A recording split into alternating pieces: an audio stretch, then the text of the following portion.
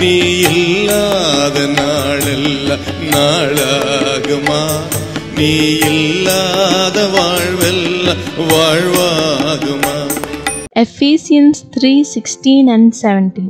I pray that out of his glorious riches he may strengthen you with power through his spirit in your inner being so that Christ may dwell in your hearts through faith.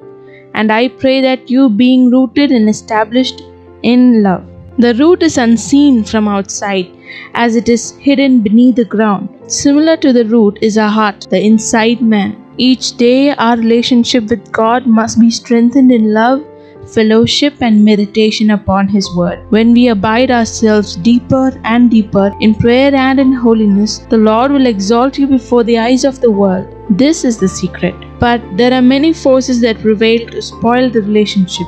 In order to keep you from growing deeper with the Lord, to stop you from loving God Himself, the most dreadful among all such forces is the mobile phone, phones along with WhatsApp, Facebook, and so. These are the terrific forces that hinder our relationship with Christ Jesus. Cast it away. When you get yourselves deeply connected to phones and other sites, never can you grow in Christ and in His love. Outwardly, you might go to worship services, pray aloud, or tell your testimony in a high voice, but nothing will happen. This is a sign of a fruitless branch. Some fruitless branches might seem to flourish and also look neat, but there will be no fruits. Similarly, without a deep relationship with God, when you are strongly connected to the world, to Facebook and to WhatsApp, and dwell in the relationship all the time, but simply say, I sing well and testify well. I do good ministry. You are a fruitless vine.